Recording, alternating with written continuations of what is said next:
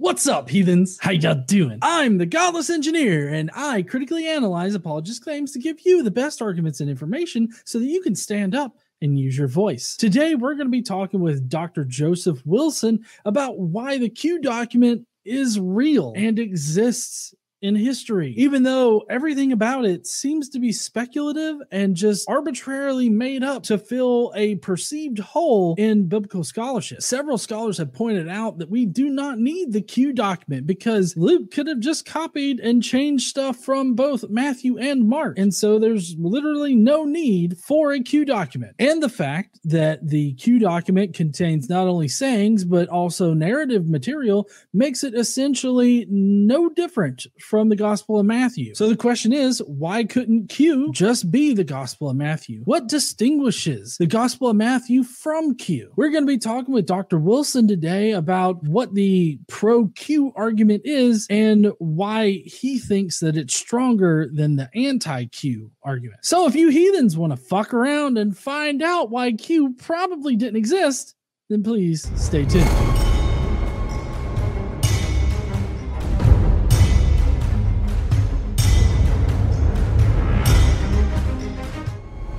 Making a good case. Um, but I'm just want to explain to you why the majority opinion hasn't been swayed by the Q skeptics. And Q skeptics are respect, you know, because there's a respectful dialogue going on across the field between. And by the way, I'm not a Greek scholar. I am I am a professional anthropologist and archaeologist and historian. I have a lot, I have a lot of advanced degrees and a lot of um, three different teaching positions in three different disciplines. I've worked in you know like evolutionary genet. I mean, I've, I should, should say I've I've worked in medical genetics. I also teach biological anthropology, human evolution, stuff like that. So I'm like a utility infielder, academic, religion scholar, historian. Um, my my linguistic training is not like in New, Tes- New Testament stuff, but I have enough familiarity with the lay of the field, and you know I know people in my extended network. Like my my undergraduate advisor is friends with Dr. Ehrman. Um, you know, their his brother Bart Ehrman's brother teaches at my alma mater in a different discipline in a bio, biosciences discipline. So it's like I um I I think I met him once 20 years ago when he came to town. I mean, it's not um it's not like I'm deeply an insider by any means, but I just I'm I'm somebody who and I'm not a religious guy personally, although I'm really interested in the history of religions. And so I teach about like com- a lot of comparative religion stuff. So my languages of training are not the ones that are relevant to the Greek manuscript tradition. I have some Latin, but that's not, I mean, that's only relevant in the like the, you know, some of the translations and stuff. But um, so I'm not going to get into like technical details about like particular like how words get changed from one manuscript to another, but I want to just talk about the general principles of why the Goodacre view is not the majority view, right? It's still, okay. and, and and this is not a, a religious apologetics thing. This is source critics who tend to be very skeptical of religious truth truth claims. They're only looking at the documents. They're looking at the they're making a paleographic argument fundamentally that has nothing to do with whether well, they believe so, uh, this stuff is true or not. Well, I'm just wondering, can you can you name off like uh, some some scholars or or some resource material? Okay, uh, so that, that, you think is is good for defending. There's there's a recent. I mean, you know Carrier, and I'm sure he's actually probably familiar with the literature better than me. I think he's sort of a polemicist, and so he's kind of got like a really hard line position, and he doesn't tend to give the other side much much leeway. And so I I, I represent a kind of a more uh, middle ground position where I'm like trying to say, you know, it could be I'm a I'm Q agnostic. I respect the the criticisms. There's some legitimate criticism of Q, but I tend to lean towards the it exists thing, and I don't like the sort of insinuation that it's like made up or pulled out you know it's yeah it's a hypothetical document but there's hypotheses about gaps in evidence all over critical studies all over science, all over history. I mean, there are so many missing things in the universe that we can infer well, right. on the basis of other things, and that's sort of like it's sort of like a reconstruction. And I mean, well, maybe. Sorry, go on. Well, I, I was just going to ask, maybe um, just so that we're on the same page, could you uh, could you try to steel man like the uh, the argument against Q, just very basically? Right. Well, so it's it's really complicated. There's a lot of different arguments for and against that you can take really different positions on the big picture and and come at it from a lot of different angles. So I wouldn't feel like I could give you the authority, and it's not a case that I make personally, so I can't give the authoritative thing. But I think Carrier puts it in a nutshell on his blog. He just does a little more harsh than I would, but he sort of points out that a lot of it is about subjective interpretation of the author's intent. And when you see a lot of like so in other words we know that the synoptic tradition so the three synoptic gospels mark almost everyone believes mark is first. Um, matthew and or luke are closely positioned in the second and third place with some debate about whether you know which one of them came second which one came third. Most people agree that it's matthew second luke third. There's another anti-q argument. There's two anti-q arguments one is the Goodacre hypothesis. So you read Goodacre's work, you'll get the best sort of most kind of popular anti-Q argument now is is represented by by Goodacre's defense of the Farrer hypothesis. And there's a recent anthology like from 2015 that's a bunch of scholars defending the Farrer hypothesis, including Olson, who you probably know, Ken Olson, who's um, who's Carrier cites him about the Testimonium Flavianum, which is his you know, the, because he thinks it's a whole cloth interpolation, unlike many scholars who think it's partially interpolated that that that particular passage. That's why mythicists like like Ken Olson on that issue alone, not on his other stuff. Is Ken Olson also a mythicist? what's that? He's not a mythicist, but he's a Q skeptic, and he's um and he agrees with mythicists on some. It, he was interviewed on Derek's channel re- relatively recently, and you can see him defending his view that the testimonium is completely fake and that maybe the two Jameses aren't actually Jesus's brother. But that doesn't. But he still believes that the two, the James referred to by Paul, unlike Carrier here, he believes the James referred to by Paul is the James referred to by Josephus. He just thinks. Well, yeah, but can can we, can, as far as like the Josephus thing, can we at least agree that the amount of scholars that have uh, the, the amount of scholars that suggest that the testimonium uh, is uh, a whole cloth interpolation or insertion into Josephus's work, uh, the Testimonium Flavianum, that is. Uh, can, can, we at least agree that that number of scholars has only grown in recent years? Uh, I don't. I don't know. I can't because I'm not. There's arguments about that. You can see. I. I, I don't want to get on that turf because it's not. Let's let's keep it focused on the one issue. There's a lot of weeds we could go into. Watch Olson's interview on Derek's podcast that's very recent, and he covers it really well. Um, and so I don't want to like I don't want to try to to cover that from memory. He makes the case that the reason why there isn't more supporters is because some of the biggest specialists have recently died, right? And they haven't had a chance to be persuaded. It's true that you're dealing with a very small number of qualified specialists who are really well versed in the material. And and Olson has tr- been trying to make inroads with them for a long time and having, I guess, some success but there's you know there's a counter response that's going to be coming i think eventually along to that video. So I, I i it's not what i'm here to talk about but i'm just saying that's where you might be familiar with the guy's work. He writes one of the things so there's a bunch of scholars who are defending the Farrer hypothesis which is mostly associated now with goodacre which is the notion that matthew comes second and then luke copies matthew and mark. So the mm-hmm. two source so you know the three source tradition is you know Mark gets used by both later synoptics. The two source tradition would, or the double tradition, I should say, the double tradition is the notion that what Matthew and Mark closely, sorry, Matthew and Luke closely agree about, what they agree strongly with each other about, is material that they're, for more than a century, people believe that they're dealing with a lost second source that's as old or older than Mark, and that's the the the, the Quelle, the the Logia source, possibly the one referenced by Papias, the genre in a genre similar to the Gospel of Thomas, a collection of sayings. It has the reconstruction has some narrative structure, a little bit of like storytelling around it, but the a, a very conservative reconstruction of it, which is based on Marcion's gospel, would get rid of all that narrative stuff and it would be a really pure sayings text, just like sayings and nothing else. Um, that so th- that has been kind of the majority view for a long time because there's major agreements in that material and major Well- disagreements outside that material. Well, So- no, no, as far as far as what's in the Q document, number one, we don't know what's no, in we the do Q know. document. You know, we we have several really good reconstructions, and they vary a little bit. So there's disagreement about whether like whether but those are all how, arbitrary. how much of the baptism material is there, but all that narrative stuff is spec a little bit speculative.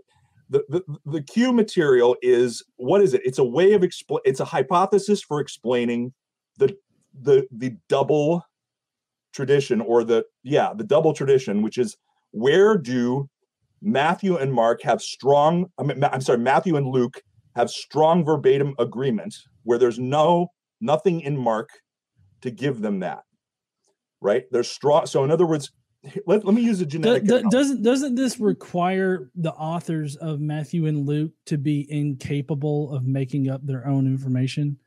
yeah, no, they're not. They obviously are, and they edit. You can see that people edit and change the work that they have before them. Okay, But well the- then how do you distinguish between when they make things up out of whole cloth or just make things up for their own narrative and what's in the Q document? Well, Like it seems like there's not a good criteria for distinguishing well, hold on. the two. No, there, I mean, like Bart Ehrman would would get into other early sources that he calls M and L, and those are getting into more speculation. And you're right that there's less general consensus about the existence of M and L, which are the the areas where you don't have corroboration between the, the synoptics, where they're really going out on their own. And anything that is only in one of the three, right? I should say, well, post Mark, anything that is only in Matthew or Luke and not in the other one and not in Mark, then yeah, it could be something that's being composed by the person. Like, you know what I mean? Like written, like narrative fiction, if you want to say that. But Mhm. it, the standard view is that they're probably relying on traditions, some of which may be written. These are literary pro- products, and they were very fam- they had other sources. Luke talks about multiple sources he's using. He doesn't Yeah, talk. yeah, about, but he doesn't name them. He doesn't give No, any kind of indication of what to. they are. he doesn't have to. Well, He I mean, I have a bunch if he's of going to down." act like, well, yeah, but I mean, if Luke is going to act like he's a historian or try to make No. his gospel look as if it's trying to record history, then I mean, you would you need to have a see where he's discussion on your changing. sources. You can see where he changes existing texts to match his own agenda, like when he Right. edits Mark to reflect his own views. That's Mm-hmm. that's normal. That's what people do. They say, "Here's where I disagree with this source, and here I'm going to change it to reflect my own views." The Uh, notion okay, so that let's- he's, the notion well- that he's composing stuff out of thin air, in addition to that, is possible. Undoubtedly, he is writing things that are original to him. But the notion that anything that isn't previously attested must have been pulled out of thin air, that is a, you have to very closely look at each thing and look does how does it fit with Luke's agenda and where where in the community could ideas like that come from? Like like Paul is always quoting other lost letters and some of which are clearly quotations of previous letters. We don't have them. He doesn't name the author. You know some corinthian dude wrote this to paul and paul is critiquing and quoting it. You can see where the quote begins and ends nobody is saying paul made that up. He's using a, a letter that's now lost. Most letters are lost. Most texts are lost. We know Well, that yeah, there but- are lots of documents that are lost and the Well, notion right, that but are not but Paul Paul gives us internal indications that he's quoting from like some some some Right. other document. We don't have that at all in the Gospels, right because Like, they're they're not in the epistolary genre. They're not writing letters in response to other letters. They're writing they're correcting um a they're hagiographies. they're, they're they're writing a corrected version of a narrative account. And so they're and they're using and we know that luke is using multiple sources to do this. If goodacre is right he's using mark and luke. If the conventional view is right he's using mark and q. And that the other stuff Well- is that's kind of like matthew. I'm sorry not he's using mark and matthew it, it's so the stuff that's kind of like matthew like it's like a little bit similar to matthew but not literally dependent not like like really different that stuff is either coming from other texts or it's something that he's writing on his own, like in the style of the the the, the kind of thing he's doing. But the two source material is verbatim agreement, right? There is a documentary basis for Luke using text that is word for word out of Matthew, and you have to explain why he does it in chunks. Why why is it there are these huge chunks of verbatim agreement, and why do they correspond to the sayings material so closely? And and there are but, but we don't know that. What do you mean? We don't know that it corresponds with the quote unquote sayings material. Yeah. We don't have the sayings material. No, where it's in both documents. It's written out in both documents. It's reconstructed on the basis of comparing. It's like it's like no, have, but but you understand how this comes across to me as just inventing a source that says what you want it to say. No, no. Many sources are preserved through other sources. Some are explicitly so. Sometimes they say you it's clear that they're quoting something. It's also mm-hmm. other times clear when you have redactional layers. Documents are edited and recombined in new ways, and some of the source texts survive, and we know they survive. If if Mark was lost, and by the way, Mark could have been lost. Mark was not well preserved. The, the text stream for Mark early on was poor, right? It, we only have, in terms of like manuscripts from the third century or before, we have like two of Mark, where we have like 10 of John or something like that. You know what I mean? In other words, there are documents, ancient documents were lost all the time. And we know because Mark exists as a real document, we know that it was heavily mined by both Matthew and Luke, and they did it in different ways. In other words, we know for a fact that they weren't dependent on each other for their Mark material. They got their Mark material from Mark and not from each other because the changes they make in Mark, for the mm, most part, not, are their own. No, that's now, that's not own. exactly true. There's this there one portion. That's one of the so so you asked me to make the case against Q. The strongest case against Q is on the basis of the minor agreements, the so-called minor agreements, but in the Q material, in this well, not not in the Q material, in the Markan material, there are occasions when changes of our canonical mark are apparent in both of the derived sources, indicating that this either either they independently did the same redactional change of mark, which is, seems unlikely, or one of them depends on the other. This is the biggest obstacle for Q. The biggest obstacle for Q are the small, and, and Carrier talks about this a lot in his blog. There are lots of them, but they're really tiny and not majorly important. Like they're most of them are like subtle changes in wording that are seen in both of these two documents, but not in the original. So therefore, you'd say, hey, somebody's copying this person. I'm copying off your paper. He's copying off my paper because my changes to your work appear in his work over there. So that's the essence of the argument for the Farrer hypothesis that, that has just one document that's used by the next, and then that document and the first document are used by the third document because they say these little changes to Mark that appear in Matthew and then also appear in Luke. That argument against Q is that disproves Q because well, you don't so, need, you can't because you can't get there if you don't have the intermediate step. But there's mm-hmm. several important easy ways around that for Q proponents, and I can get to that if you're if you are with me on the same page so far. And, and well, I, I so uh, what, what, what I was just gonna say was that I I, I feel like in uh, uh, uh, I guess a bit more general way that, that I understand it is is that Q, the Q document is actually indistinguishable from uh, Matthew. Like the, there's there's no way that you can actually uh, distinguish between content that's um, you know in Matthew uh, and and the content that's supposedly in Q because we don't have the Q document. We don't know what was in the Q document. We have speculations about what was in the Q document. But no, but that's it's, about it's, it. It's source criticism, and source criticism is involved. It involves comparing different versions of the same text and inferring based on various criteria which is the more primitive version. And this is where why Q exists. Q exists because the complex interdependency between Luke and Matthew is not unidirectional. This is the key. This is why Q exists. This is why Q has been a strong paradigm for 100 years. The complex interdependence between Matthew and Luke appears to go one direction if you're looking in one place and another direction if you're looking in another place. And the conventional wisdom is because Luke, even though it's later, pre- preserves a less edited form of Q. So the Q material that appears in Luke has fewer fewer rhetorical modifications than the Q, the same material that appears in Matthew. Matthew is earlier, but it's heavily rhetorical, rhetoricized. In other words, Matthew takes the sayings texts, which are believed by most scholars to be a lost independent document that are a collection of like the wit and wisdom of of Jesus of Nazareth, right? Like the like this body of words attributed to Jesus that does not have a lot of narrative framing, maybe a little bit. You know, the depth temptation of the devil and the, you know, and and the John the Baptist stuff.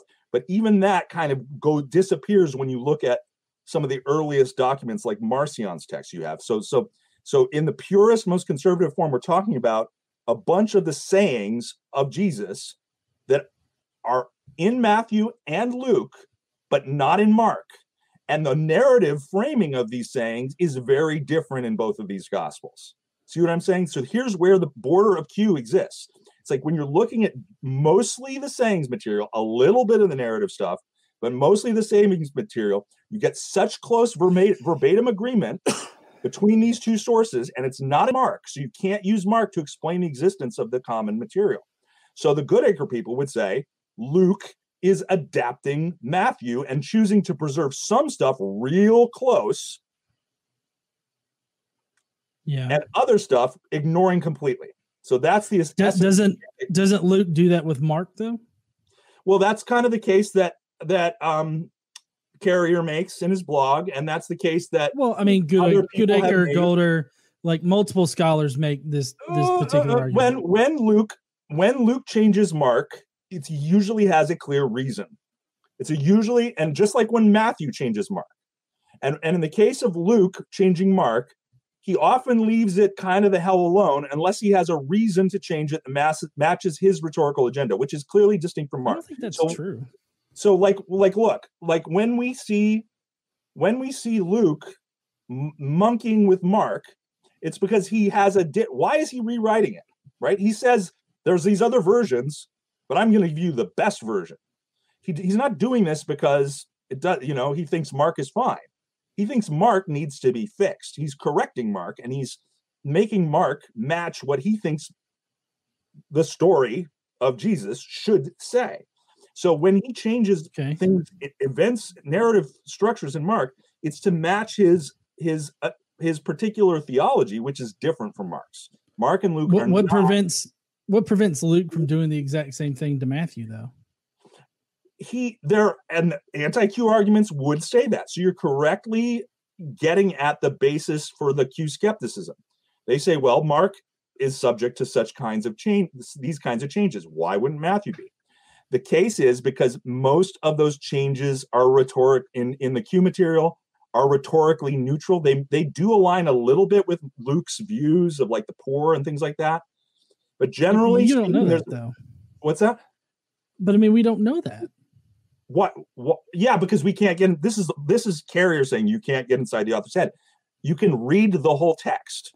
Well, I mean, you're framing all of this as if it's just Carrier you're saying it, but it's not just Carrier saying it. It's Carrier, it's Goodacre, it's Goulder. Like there's there's multi, right. like you're, you're really is, harping Carrier on Carrier. Carrier is a radical proponent of what is a what is a one argument Radical. within the discipline, but you're missing something if you think that these arguments are just out of thin air. You're you pay attention for a second. Are you you know what link, linkage di- disequilibrium is in like genetics?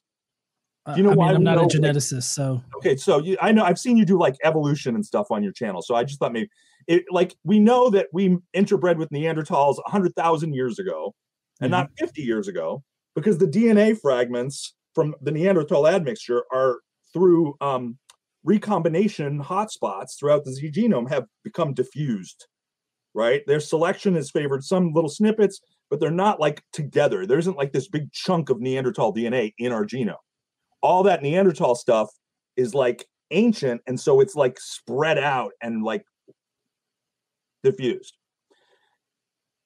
The Okay. Q material are consists of the sayings text, which are these contiguous chunks of close verbatim agreement, always or mostly about the sayings attributed to Jesus.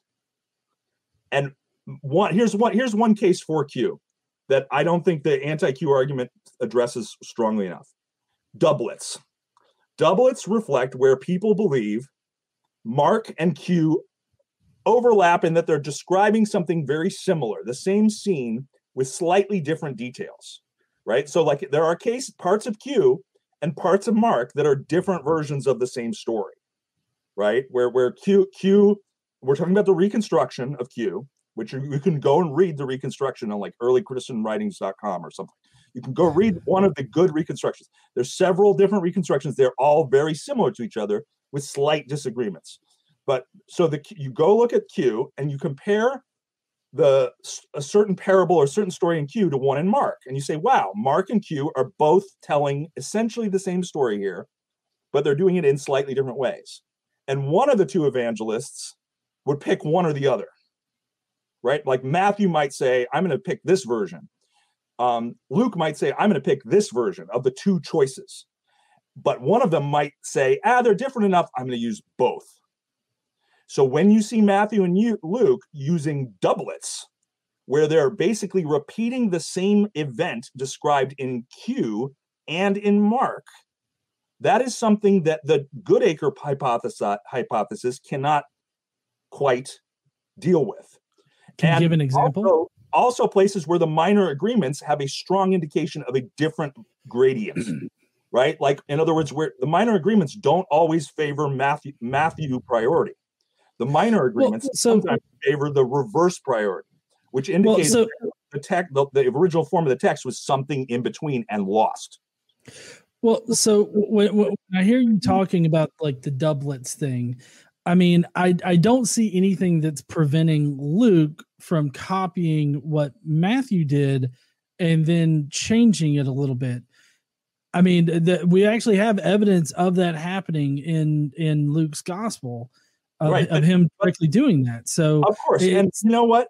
Some sometimes people have played that argument in favor of of Q too hard or too too vigorously. That's not that's not the issue. The issue is the minor agreements and the fact that the the minor the main thing that makes Q look weak to us just a compare just on a basis of a straight up comparison of the documents. The main thing that look makes Q look weak is the so-called minor agreements, the places where Mark differs from both of the later gospels in places where they refer where they change mark in the same exact ways that is the strongest piece of evidence against q right there. All that other stuff is speculation. All of it is about you know what i mean? Like i see it this way i see it that way. There's no like firm evidence one way or the other. The the, the minor agreements are it. And here's why people don't regard the minor minor agreements as insurmountable. The further you get back into the text streams and the more unredacted and ancient your original manuscripts are, the fewer minor agreements survive. Meaning the minor agreements tend to fall out of the picture when you get the better older documents. Why is this important? It means those minor agreements are often orthodox harmonizations, orthodox corruptions that are designed to take these documents that are different and make them the same. And this is especially going to happen to the later two synoptics because they were both more popular than Mark. So Mark is kind of, it doesn't get reproduced as much. It sits there and it remains kind of stagnant in its form. Whereas Luke and Luke is about twice as many ancient manuscripts of Luke survive as Mark. And so it's getting copied and recopied twice as often, and it has a wider range of possible changes happening. Matthew gets copied a ton more. And the people who are copying Luke, right, people who are transcribing Luke, have probably transcribed Matthew twice as often as they've transcribed Luke because there's more copies and it's more, it's a more like, it's a more important tradition in the early church than Luke is. So Luke gets copied like less, if it's getting copied less than Matthew, and people are remembering Matthew because scribes are humans and they're doing things from memory And if, if they're taking the double tradition, right? The double tradition is the place where Matthew and Matthew and Luke overlap, or the triple tradition, doesn't matter. The, the all the ways that the two gospels align with each other, they're going to just through the sort of normal subconscious behavior of copying, they're going to accidentally change the grammar and wording to make them match. And we know this is the case because the further you undo these orthodox harmonizations, these corruptions that result in the convergence of the text types, right? You undo them, and Q doesn't get weaker. Q gets stronger the more of the minor agreements you take out of the picture. In other words, the, the integrity of the similarity, I mean, in other words, Q itself remains. Like, here's an example Marcion's gospel. Marcion's gospel gets rid of the narrative frame for Q. So the Q material in the Mars in Marcion's gospel is pretty much pure Q.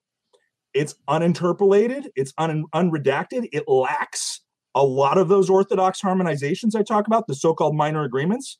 So in other words, you're getting back to a more primitive form of Luke, and you're seeing that it doesn't resemble it doesn't resemble Matthew in the ways that it does in the later text stream. So in other words, if you were to go back in time and to reverse all reverse engineer these known document changes and you were to find wow, Q's looking weaker and less there's less integrity to the Q material, then you would be like, yeah, Q doesn't look very strong. But that's not what ha- has happened, right? The minor agreements don't seem to have the, the power to push Q off the, the pedestal because they don't uniformly get, you know, um, they don't uniformly appear in the oldest sources. Now, that's not to say that there aren't some. There are some really tricky minor agreements that are widely spread. But even those have very plausible explanations if you're a Q proponent. Like, so let's talk about the Beelzebub, uh, sorry, Beelzebub controversy. Are you familiar with this, the Beelzebub controversy? It's one of the trickiest things in the synoptic problem. It's one of the biggest thorns of anyone who's working on the synoptic problem has a hard time with this passage because it has such complex three-way interdependence between the three synoptics, right? You have kind of this weird little section in Mark that has the the, the where where the people in Nazareth accuse Jesus of being the devil because he's casting out devils in the name of the devil, right? And I'm not going to get into the details of it, but let's just say that some of the Q material might come into play in it because you get an expansion and a revision and a rearrangement of it in the other two, right? In a complicated way where they depend on each other and Mark they don't where you can't easily derive it from Mark into Matthew and then from Matthew into Luke. In other words, people have been arguing over which what's the order of operations, right? To get to these, and this is one of the worst, the most difficult of the so-called minor agreements, where it's got elements from Mark, elements from Q, doublets. But again, so this looks really, really tricky. And some people, and this is the favorite thing for people who argue for um, Lucan priority Matthean posteriority. Do you know what I mean when I say Matthean posteriority? This is the other camp in the anti. There's two ty- types of mm-hmm. anti-Q. There's the Goodacre people who are who say it's um, Mark, then Matthew, then Luke, and then there's the the Matt uh, the Matthean posteriority school that says it's Mark, proto Luke, which is, might be different than the Luke we have, but it's like a more primitive version of Luke. And then after proto Luke, Matthew, and then maybe later act the the revision of Luke that gives us Acts and all the all that like the full fledged Luke might still be after Matthew, but there's a ver according to the the Matthean. I mean, so can I ask you can, I, can, can I ask you a quick question? What? Yeah. I mean, in your view, is a lot of this kind of historical research just like what what can we just make up in order to make our particular hypothesis plausible?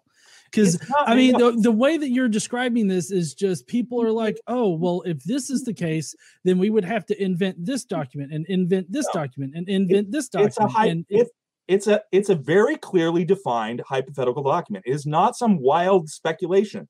It co- corresponds It to the, the pieces of very close verbatim agreement between the second two of the synoptic gospels that's not supported by Mark. So we know that they depend on each other. It's impossible for that. It's like the level of verbal agreement is such these are genetically related texts. The question is, is is one copying off the other, or is the other copying off the one, or are they both depending on a previous sor- sources? Those are the only three possibilities. One of those three possibilities is definitely right. Either one is co- either Matthew's copying Luke, Luke's copying Matthew, or they're both copying a lost sayings text. The fact that people have favored the third option is because the text critical factors do not decisively weigh in favor of one or the other two scenarios. Otherwise, everyone would agree with Goodacre. They don't. Goodacre cannot explain the, the nature of the, the, the nature of some of those minor agreements, which favor the reversal of the gradient of dependence. See what I'm Are saying? you sure he can't? These texts don't have a clear priority, and that is strongly indication that there is a third missing document that is in that is intermediate, like a common ancestor oh, document. Well, I know that you got to go here in a second, but I mean, you say that he can't explain these things, but I mean, I I kind of I have I have his Q book. I feel like he has a way to explain these things. Well, Does he literally say I mm-hmm. can't explain no, this? No, but and and it is Okay. in a nutshell, it's kind of like what Carrier says. He, you know, it's appeal to incredulity, which is valid. I mean, I shouldn't say it's not all appeal to incredulity is not fallacious. There's nothing wrong with saying I find this to be unbelievable, so therefore I'm going to speculate this other scenario. So there's a lot of like incredulity about specific common ways of viewing material that's in the Q material. So, like for example, what would a- standard argument for Q that's that the the Goodacre's people are skeptical of is that Q represents a simpler version of the sayings material that is more that is better preserved in the later source Luke right and is the integrity of the Q material is worse in the earlier source Matthew because so Luke is taking the original document that they both depend on and using it in ways that are um less he's being less editorial about it right? That's that's the argument. He's less editorial because he's just using it whereas matthew is putting all this math, math matthew stuff into it. And that in order to get for luke to undo all that and and reverse engineer a document that looks like q he would have to do things that make no sense from his own rhetorical perspective. And you know, Carrier and other people could say, How should we know? He might have had his reasons. That is a reasonable criticism, but it is not convincing when you're dealing with the quantity of specific arguments that we're dealing with. Like, here's another example transcriptional fatigue. There are places when because because Matthew is constantly putting Matthew's theology into the document. He is really heavy-handed about putting Matthew's view on the Q material and the other material. And so when he goes through and he changes kingdom of God, because he's Jewish and he doesn't want to say kingdom of God, he wants to say kingdom of heaven. So every time he sees kingdom of God in Q, he revert he ter- puts the more Jewish Christian friendly kingdom of heaven language in there instead. Uh, until very late in the document when he's getting tired. And, and that's fit transcriptional or you know translators fatigue. He's getting tired, and then he starts to let it slip. And in Matthew, you get the form you see in Luke start to appear because after so many times, it's like like imagine I'm trying to pronounce a name differently. Like I want to say, I'm used to saying Marcion, but I want to say Marcion. I like that pronunciation better. It makes me sound like I'm speaking Latin. So I, but I'm used to saying Marcion. And the first 40 times I say Marcion, I say Marcion right. But then the one time late in the interview, I let it slip and I say Marcion. I shift from a hard C to a soft C. And that's because I'm no, uh, you know, I'm not on it. So that's the kind of thing you see those places in Matthew where you see the the the the the primitive form of Q slipping through his efforts to add Matthew's rhetoric. Whereas You, Luke is going through and he's reproducing the same verbatim material without any of the math, math, Matthew's theology, even when Matthew's theology is neutral with respect to Luke's project. Right. So even in places where it wouldn't matter, where it has no bearing whatsoever on what Luke is trying to do, he still reverts back to the more quote unquote primitive form. This is one of those cases where, where Carrier and Goodacre would say, you know, who's to say? We he might have had reasons we just don't know. But it is the there, but that's not the only argument for Q. I got five more minutes, I'd say. The other arguments for Q is the very major disagreements lack any semblance of that that that literary dependence. Like the the verbatim agreements of the Q material are like astronomically high. The verbatim disagreements of the non-Q material that's not in Mark is very, very low. And so Goodacre argues that there's some thematic resemblance, like like like the structure of the documents or the the general kinds of plot is similar, indicating some kind of interdependency. And I actually think that's a pretty good argument because I don't see a reason why they, Luke might not have seen Matthew. Right? It's not to say that Luke could never have seen Matthew. The argument for Q doesn't say that Matthew and Luke were foreign planets that didn't have any connection the argument for Q is that their verbatim agreement comes from an earlier text that they both, like Mark, that they both depended on, and that that structural similarity came from their genre conventions in common, or from you know the fact that they were both doing a similar project. So it's not and you like like MacDonald is one of these people who says that that Luke can still know Matthew and also use Q. That the the, the problem is that the that the Matthews use of the Q material is just so different than Luke's, and Luke's doesn't have the clear rhetorical agenda that you see in Matthews. Um, but you understand how, you, at least in in my view, from what I understand of our discussion, you're not you're not distinguishing for me like anything that means that Luke definitely did not just copy Matthew and change things and then add his own information that he either got from the scriptures or he just made up whole cloth. Um, you know, you, you, there's no information that seems to distinguish like that that from there being a Q source. It, it just makes it really seem technical. like the Q source pops out of nowhere no. just so that people can can it you it gets really technical. We're talking about we're talking about really small linguistic nuances here that that that favor derivation in one or two possible directions. In other words, if you regard the Q material as being in a more original form in the later document, right? And the less original form in the earlier document, then an earlier precursor document is really the only way to do that. And you're right that you can postulate that Luke somehow reverse engineered something that looks like Q, and that's essentially what the ant the the that's not what I said though. Say, that he's ma- he's managing to reverse engineer a re- uh, the the sayings things. But there's other arguments for Q for the existence of Q that have nothing that are not at that level. There's other arguments at the big holistic level. And this is where I get back into link- linkage. I was talking about linkage disequil- disequilibrium.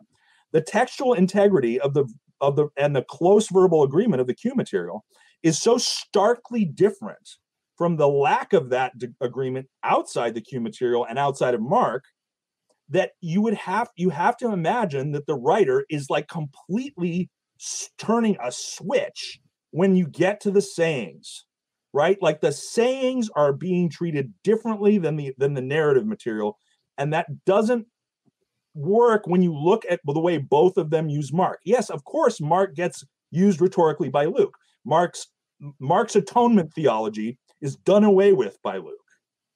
But Luke is still using Mark's verbal content in ways that are very different than Matthew's. And you can see, so in other words, you can see their habits for how they use sources by comparing how the two use use Mark. And when you when you do, and so the notion that we can't get inside Luke's head is true, I guess, but you can see what this editor is doing with Mark.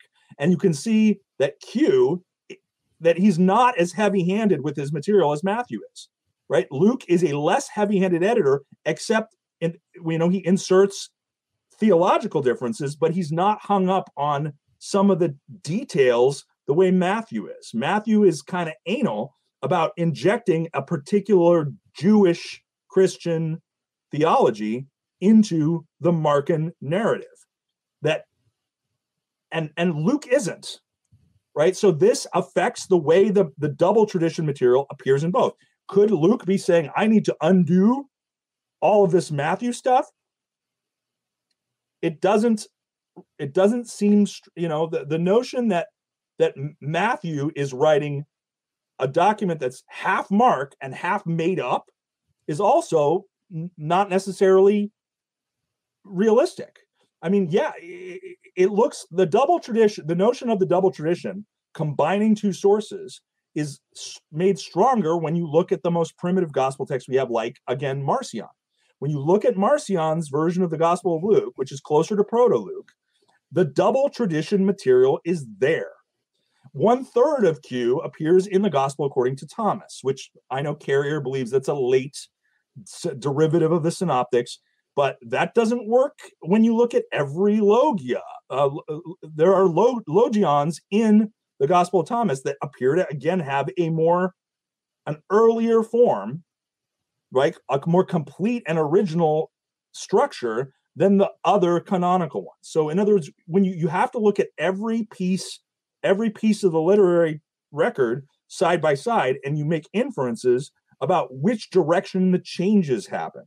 And some of those inferences may be wrong. But the overwhelming consensus of scholars is that the derivation of Matthew from a primitive text like the Q material in Luke is more likely than the other way around. Right? The, can the, consensus be wrong? Advocating. What, what Goodacre is advocating is that that is an illusion and that we just don't know what Luke's real agenda was.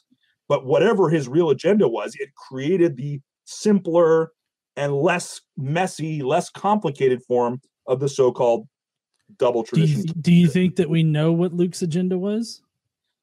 We don't know for sure, but we can say we can say. I mean, looking again at Marcion's. So we don't know, but we do. And looking at which is, by the way, it wasn't attributed to Luke. Just let's just remember that, that the name Luke gets attached to it later. So the the gospel that is the the basis for Luke is a it's a double tradition where either Matthew or Luke are combining two sources, right?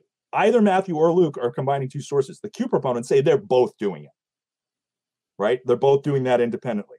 The people who argue against Q saying only one is doing it, the other one is writing from memory or writing from their, you know, their own experience.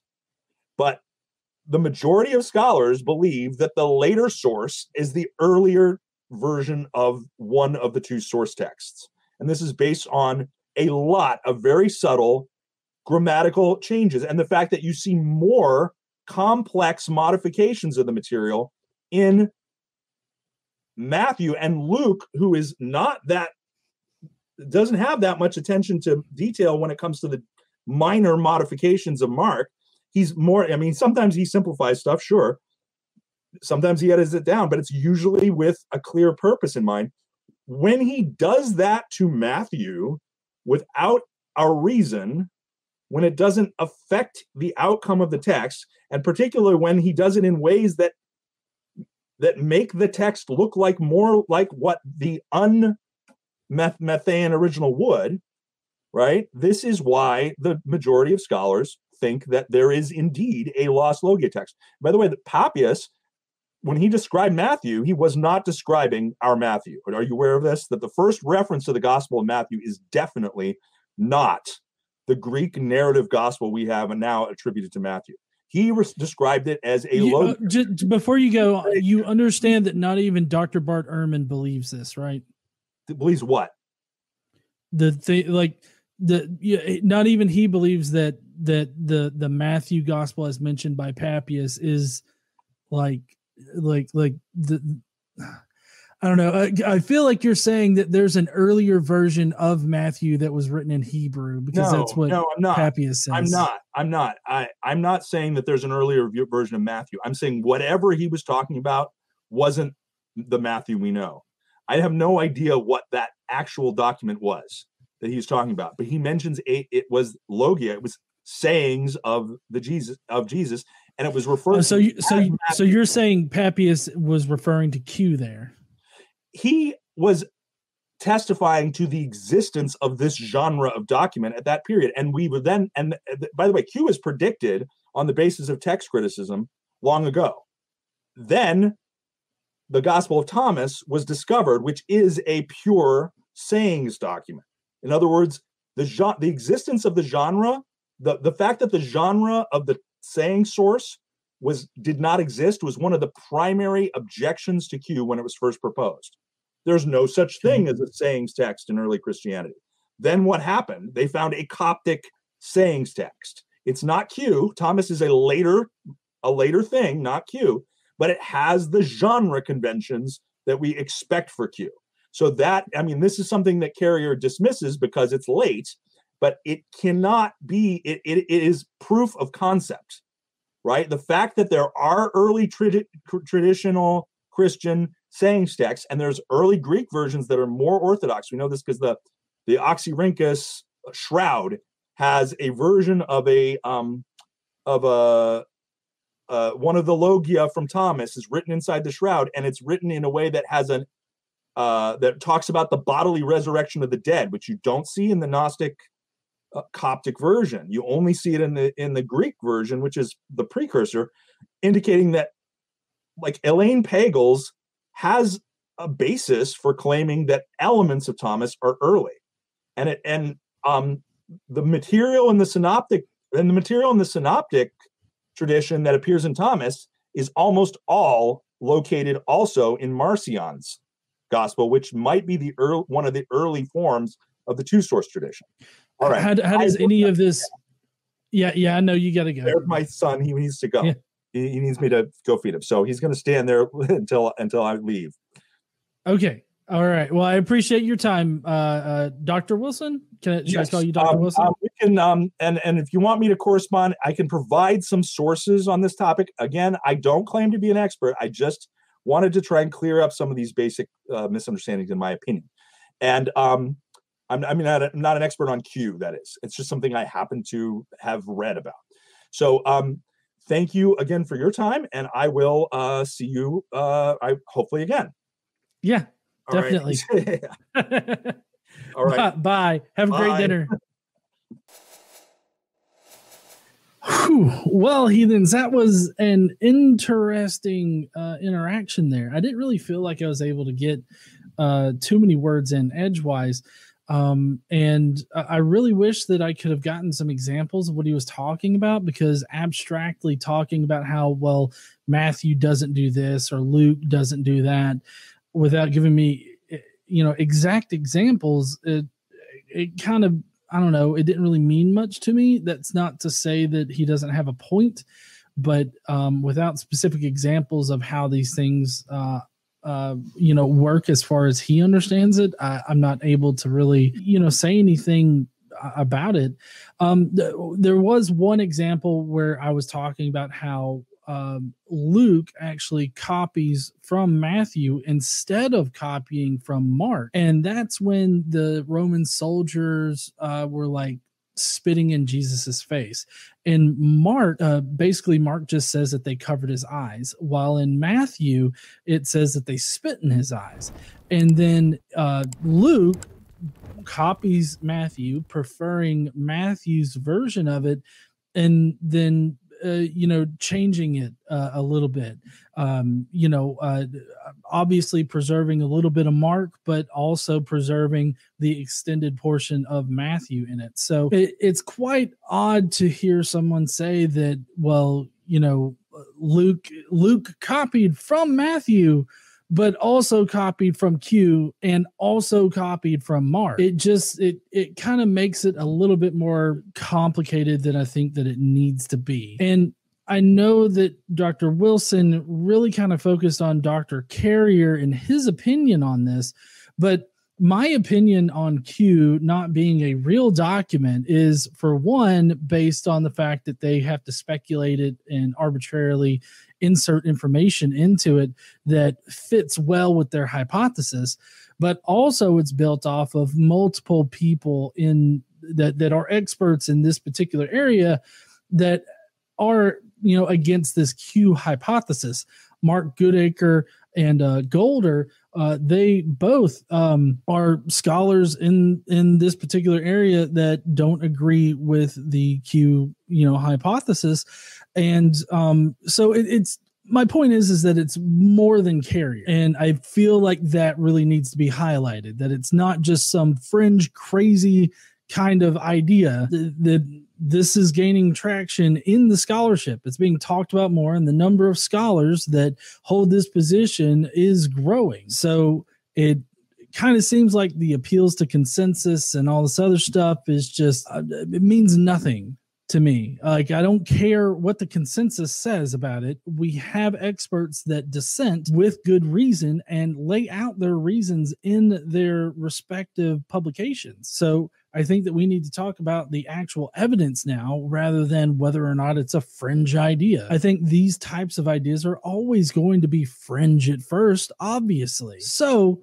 uh, I appreciate Dr. Wilson's time. I hope that I can get uh, somebody else on to try to convince me that Q was real document, but ultimately, I am just not convinced at all. Um, I I still feel like Q is an invented source and it's invented and filled with information that's cherry picked from the the gospels in order to make the hypothesis work. And i just i really don't feel like that is how history should be done. I don't think that we should just make up whatever sources will fit our hypothesis. I think that we should argue from the evidence that we have and the evidence that we have suggests that luke copied from matthew and from mark and matthew uh, copied and redacted mark. So that seems to be the most parsimonious explanation. It's also the simplest explanation rather than inventing proto Luke and proto Matthew and Q and the M and the L sources and all this other stuff. All of that is invented. That just, I don't know, that it just doesn't make sense to me that you would invent sources and then also claim that you know what's in those sources. You don't have the source in order to critically analyze it. So you don't know what's in it. Anyways, let me know what you guys think down below in the comments. I'd love to hear what y'all's thoughts are on this Q hypothesis. Uh, what do you think about Dr. Wilson's position on it? Uh, let me know in the comments. While you're down there, why don't you smash that like button and subscribe if you like this kind of content. Don't forget to stand up and use your voice. Bye, heathens.